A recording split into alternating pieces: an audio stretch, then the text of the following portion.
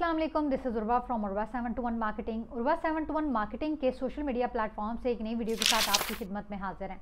Video में आगे बढ़ने से पहले हमारे यूट्यूब चैनल को सब्सक्राइब कर लें बेल आइकन को प्रेस कर लें, ताकि रियल स्टेट की तमाम तरह इन्फॉर्मेटिव वीडियोस टाइमली आपको मौसू होती रहें। General block ballots plot possession plot last video हमारी जर्नल ब्लॉक के बैलेट और पोजेशन प्लॉट से रिलेटेड थी।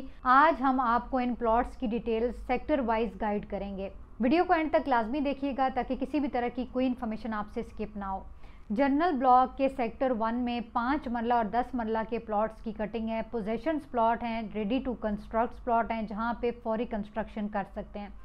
सेक्टर वन में जिन प्लॉट्स की अवेलेबिलिटी है, पाँच मरला और दस मरला के प्लॉट्स की कटिंग है। ये रेजिडेंशियल प्लॉट हैं, जहाँ पे आप फौरी कंस्ट्रक्शन का आगाज़ कर सकते हैं। इसके साथ साथ सेक्टर टू की बात करें तो उसमें जिन प्लॉट्स की ज़्यादा अवेलेबिलिटी है, जो रेजिडेंशियल प्लॉट ज़्यादा हैं, वो दस मरला की कटिंग है और इसमें ऑलमोस्ट सेक्टर टू के अंदर दो से तीन स्ट्रीट्स ऐसी होंगी जिसमें आपको पाँच मरला की कटिंग्स मिलेंगी। सेक्टर फोर की बात करें तो सेक्टर फोर में पाँच मरला स्पेसिफिक एक ही प्लॉट डायमेंशन है रेजिडेंशियल प्लॉट की कटिंग है, उसके साथ इम्यूनिटीज़ फीचर्स की बात करें स्कूल पार्क मस्जिद की अवेलेबिलिटी होगी।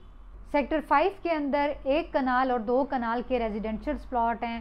सेक्टर फाइव में इम्यूनिटीज़ की बात करें तो पार्क स्कूल इसके अलावा मसाजिद वगैरह, वो तमाम तरह अवेलेबिलिटी और इसमें स्पेसिफिक जिन प्लॉट्स डायमेंशनस की कटिंग को मुतारफ़ करवाया गया, उसमें एक कनाल और दो कनाल के रेजिडेंशियल प्लॉट हैं।